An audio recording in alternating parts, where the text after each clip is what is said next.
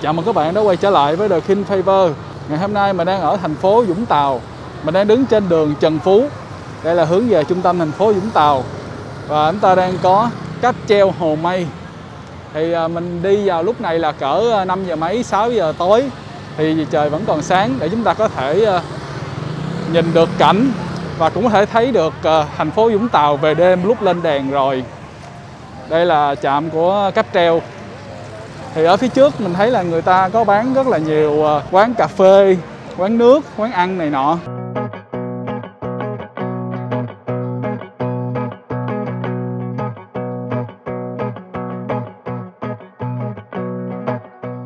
Ngay tại đây là quầy vé. Chúng ta sẽ có uh, vé chọn gói ban đêm ban ngày. Giờ mình sẽ coi một vòng uh, đi vào giờ này uh, thì chắc chúng ta sẽ mua vào vé ban đêm á mình đã mua vé xong. Đây là vé cáp treo vào ban đêm thì 200 ngàn một vé. À, chúng ta lên theo đường này. Có người soát vé ở đây luôn nè.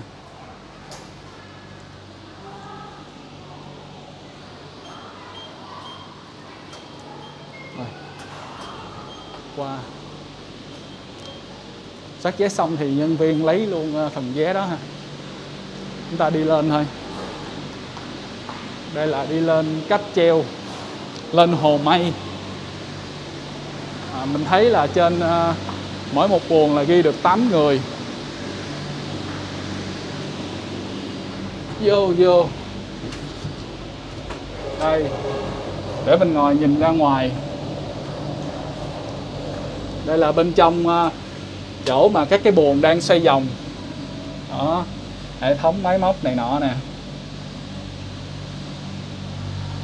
Cấp trên này đi được 8 người là tối đa. À, vào thời điểm uh, ban đêm á thì giá vé rẻ hơn phân nửa.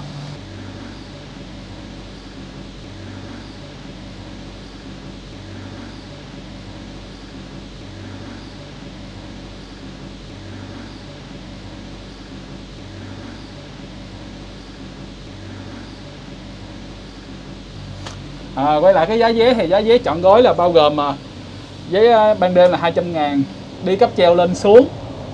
Rồi à, và có thêm coi nhạc nước nữa. Đó đó đó đó, đó. nó đang tăng tốc nè. Đây mình có thể nhìn xuống bên dưới cổng nãy. Đây nhìn về những con đường khác. Và nhìn về phía Vũng Tàu. Đây là phía biển nè. Đó đó là chỗ à, nhà cáp treo á. Bên ngoài đó là biển. Đã lắm.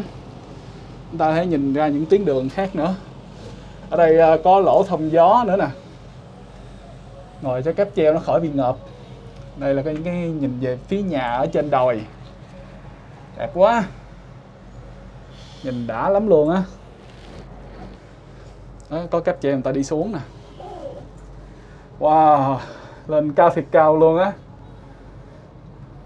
Ghê thiệt. Đây nếu mà nhìn về hướng Vũng Tàu giờ này là vẫn còn thấy cảnh rất là đẹp nha cảnh đã lắm các bạn. Này để lát nữa khi mà mình đi xuống á à, về đêm lên đèn một cái thôi là còn đẹp nữa. Hiện tại thì bên dưới cũng lên đèn rồi nhưng mà trời à, vẫn còn sáng á nên chúng ta sẽ chưa có thấy nhiều đèn đâu. Nó có những tuyến đường ở trên à, ở trên đồi núi nữa nè. Đã ghê không? Wow. Đã quá đang đi lên. Cáp treo lên hồ mây. Ôi, nhìn cảnh xuống đã quá. À, cảnh này lát nữa chúng ta đi xuống chúng ta sẽ coi nha. Giờ chúng ta chú ý là chúng ta nhìn lên trên nè thấy không? Núi núi vẫn còn giữ được vẻ hoang sơ. Dọc này à, cây nhiều quá chừng nhiều luôn. Quá nhiều. Đẹp ghê. Đâu? Nhìn qua coi. Ồ, lên tới đây là có thể nhìn thấy được những cái tàu ở phía xa nữa. Nhìn mắt thường thì tàu cũng lớn. Còn nhìn qua máy á, thì ờ, chúng ta sẽ thấy tàu nhỏ xíu à. nhiều tàu lắm. Đã quá. Ở này là nhìn xuống dưới lại nữa nè.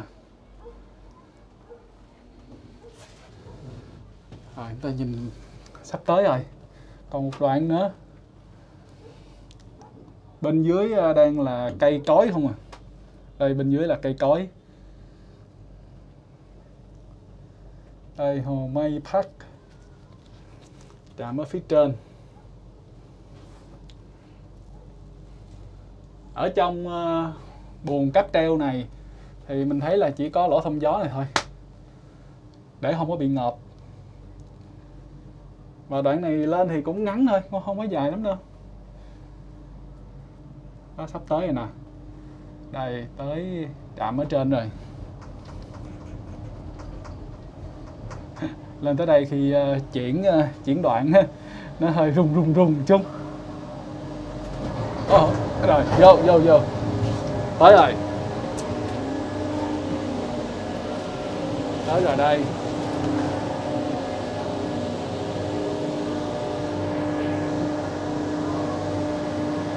Cửa chưa mở nữa. Cửa này à, à, cửa tự động luôn. Rồi cửa đang từ từ mở ra nè. Chúng ta đi ra.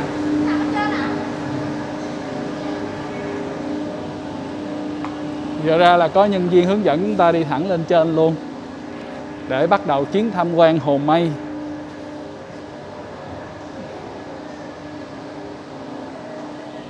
Wow, không khí mát mẻ ghê. Khác hẳn với lại không khí ở ờ, dưới đất hồi nãy luôn. Lên đây là có cảm giác mát lạnh luôn á. Ờ, và có dịch vụ xe điện nữa nè. Cái này thì các bạn phải ờ, mua vé xe điện thì sẽ được người ta chở đi. Và mình đi tham quan một vòng trước. Mát quá.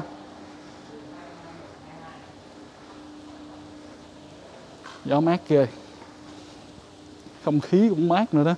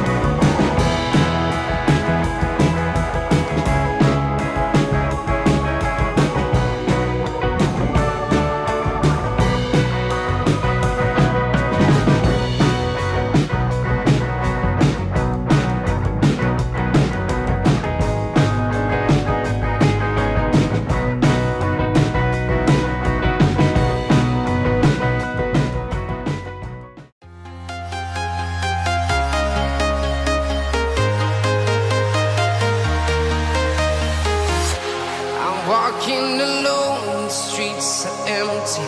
The only thing I can see is my own silhouette. I'm getting stronger, step by step. The clock is ticking, but there's no time for regrets. I've been flying from town to town, from London to Taiwan. I've been all around the globe trying to protect your soul.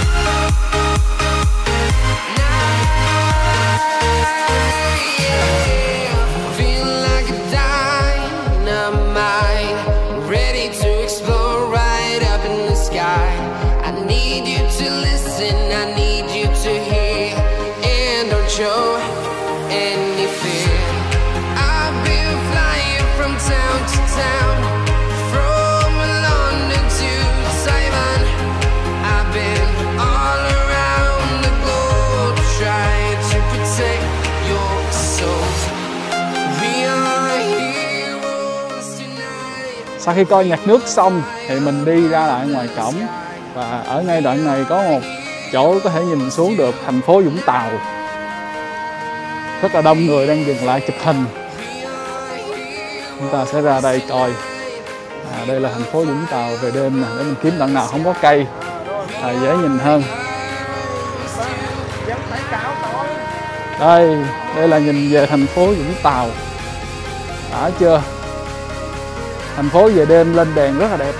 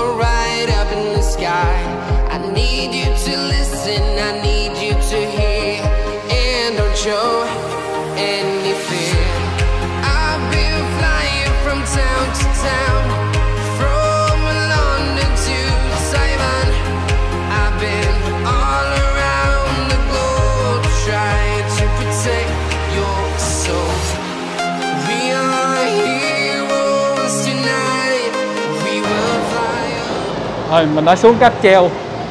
Giờ chúng ta đi xuống. À, Đường đi xuống thì à, trên cáp treo hơi tối. Chúng ta chỉ có thể nhìn ngắm được cảnh à, Vũng Tàu về đêm Khi à, thành phố đã lên đèn thôi.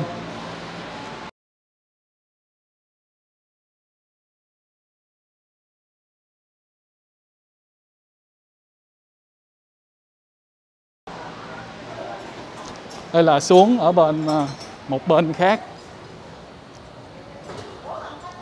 Đây là có khu vui chơi thiếu nhi nè.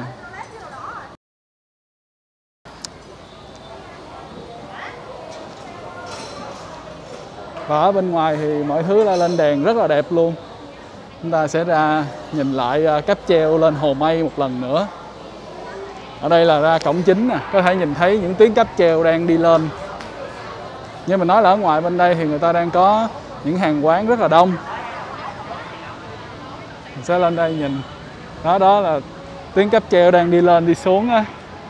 Như vậy là chúng ta đã đi à, một vòng à, cáp treo hồ mây vào ban đêm, nhìn ngắm cảnh à, thành phố Vũng Tàu về đêm. Và mình cũng sẽ kết thúc chương trình ngày hôm nay tại đây. Hẹn gặp các bạn trong những chương trình lần sau. Bye bye!